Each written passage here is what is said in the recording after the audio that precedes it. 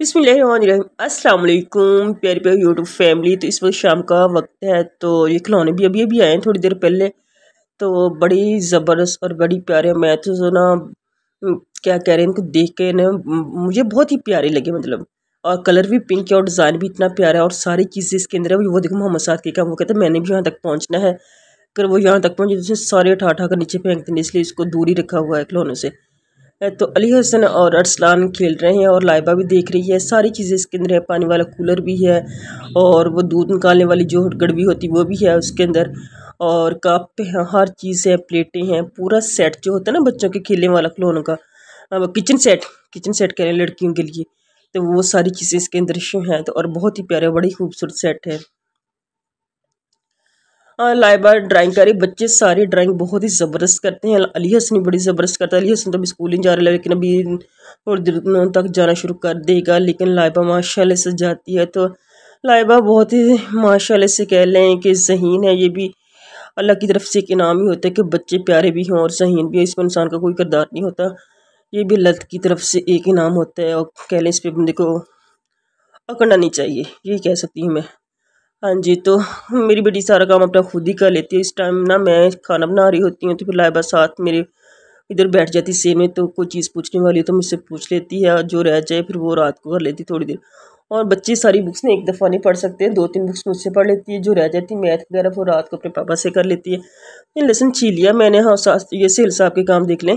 मैंने ये आधा किलो की आधा किलो दाल भिगो कर चले गए हैं और अभी इसको दो तीन दफ़ा वॉश भी करूँगी, फिर मैं हाँ नेक्स्ट डे यूनिफॉर्म मैंने ना प्रेस कर दिया। लाइबा को रात को धोया था तो रात को मुझे टाइम ही नहीं मिला दिन के टाइम में धोने का। ये मोहम्मद साद के काम देख रहा हूँ। ये कहता जल्दी से मुझे उठा लो। और लाइबा कहती मम्मा के स्कूल से देर हो रही हालाँकि अभी साढ़े छः हुए हैं तो साढ़े सात इसका स्कूल लगता है, सवा सात घर से चली जाती है। तो अब हम नीचे जा रहे हैं। हम मोहम्मद साद के भी उठाते हैं क्योंकि लाइबा के शूज़ वगैरह नीचे ही होते हैं बैग भी नीचे पड़ा होता है। वहाँ जाके नीचे इसको तैयार करती हूँ।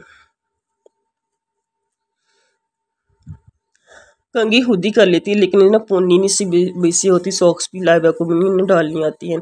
तो सॉक्स ऊपर रह गई हैं, वो लेने जा रही है। तो अब नीचे जाके इसको तैयार करती हैं हाँ जी, तैयार माशाल्लाह से होगी पानी की बोतल भी खुली रात को भर के फ्रिज के अंदर रख लेती है। अपने छोटे छोटे काम खुद कर लेती है। और अब जा रही स्कूल माशाल्लाह से चली गई है। तो आ जाते हैं दोबारा से, फिर ऊपर मैं ऊपर आ चुकी हूँ, उसको स्कूल छोड़ने के बाद, फिर फ़ौरन ऊपर आ जाती हूँ, मुझे जो पीछे रह जाते हैं, उनको नाश्ता करवाती हूँ। और साथ फिर ये खेलना शुरू कर देते हैं। और जब मोहम्मद साद होता है फिर उसको भी मैंने सलाना होता है। ये आप लोगों को सब खिलौने दिखा देते हैं। और देखिए इसका डिज़ाइन कितना प्यारा है। खिलौने हमारे घर ना पूरा महीने में को दो तीन दफ़ा तो आ ही जाते हैं। और महीने का शुरू हो आखिर हो या दरमियान हो आते ही रहते खिलौने। वो ट्रैक्टर तो इतने के आ चुके हैं और इतने कूड़े के अंदर भी जा चुके हैं कि हम्म, कोई हिसाब ही नहीं है। तो बड़े प्यारे और बहुत डिज़ाइन भी बड़ा प्यारा और कलर भी बड़ी ज़बरदस्त है। तो आज का यही समझ ले, घर में काम बहुत ज़्यादा है और टाइम है कम। तो भागम भाग और डेली रूटीन का काम नहीं ख़त्म होता, जो ऊपर से एक्स्ट्रा काम, उसके लिए तो टाइम नहीं मिलता। तो अम्मी जाने कहीं जाना तो उनका सूप में प्रेस कर रही हूँ। तो अम्मी ने ना कज़न की ना ससुर फौत हो गई, उनकी फातह करने जाना है। तो जाना तो मेरा भी दिल कर रहा था, लेकिन मुझे पूरी टीम को बंदा कहाँ छोड़ कर जाए, फिर किसके हवाले करके जाए?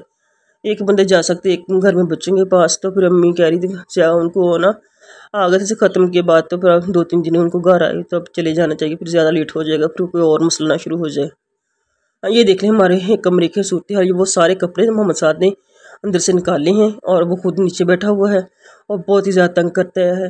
तो मुझे अब ना यूज़ का टाइम हो चुका है इनका ग्यारह दस ग्यारह बजे हो जा तो इनको भूख भी लग जाती है। सारा दिन इनका खाने पीने का नहीं कमी होनी चाहिए इनको। ये फिर आके चेक चेक करना होता है ना चौधरी साहब ने कि कितना खा क्या कुछ खाया फिर उनको पूछते भी हैं ये चीज़ में देखी गया था खाई थी या नहीं खाई थी।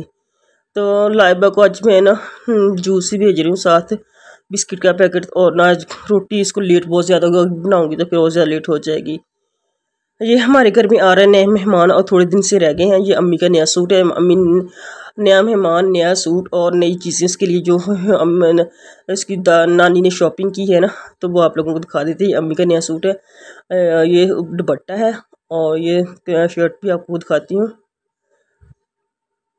ये अभी ना, लेके आई थे। शाम के टाइम आया है तो अभी इस प्रेस वगैरह ने भी धोना है इसको। एक दफ़ा दर्जन के घर काफ़ी दिन पड़ा रहा है। अम्मी कहती हर दफ़ा मेरे ना गले का एक डिज़ाइन बना देती उसको ये मिला हुआ डिज़ाइन सादा सा कोई और डिज़ाइन बना दिया करे। तो अब कहूँगी इसको फ़ोन करके अम्मा मेरे को नज़र आता है, तुम कि एक ही डिज़ाइन बना देती हो, ये शलवार अम्मी की उस लंबी सिलाई कर ये भी ठीक करवानी है। बस हालाँकि उसके पास ना अम्मी का माप पड़ा हुआ था, बस इस दर्जन जो हमारी ना, इसको पता नहीं चलता। तो मैंने पूछा भी था फ़ोन करके, अगर नहीं है तो मैं भेज देती। कहती, नहीं लिखा हुआ मेरे पास पड़ा है, फिर भी ना शलवार लंबी सिलाई करती है तो अब दोबारा फिर से ठीक करवानी पड़ेगी। तो अम्मी गई थी ना, आपको बताया था तो फिर अम्मी रस्ते से आते हुए ये कुछ चीज़ें लेकर आई हैं। ये घर के लिए चाहिए थे डब्बे वगैरह, छोटे, बड़े तो थे, लेकिन छोटों की ज़रूरत थी तो फिर ये दो अच्छी अच्छी प्लास्टिक इनकी तो कोई चीज़ डाल के रखनी पड़ती है या कुछ भेजना पड़ता है कहीं तो फिर इसके अंदर ये मग्गा है, और ये नई बेबी के लिए शॉपिंग की अम्मी ने नया टब लिया और नया मग्गा उसको ना नहलाने के लिए छोटे बच्चे को। तो नई चीज़ें ली हैं इसके लिए। जैसे जो भी बच्चा पैदा है उसके लिए हम सब चीज़ें नहीं बैग तो उसका चीज़ ऑलरेडी मुस्त ये हाँ, चार पाई तो नहीं लेकिन धो दी है मैंने इसको चारपाई को अच्छे से धो दिया है। उसके बिस्तर वगैरह चादर वगैरह हर चीज़ उसकी अच्छे से धो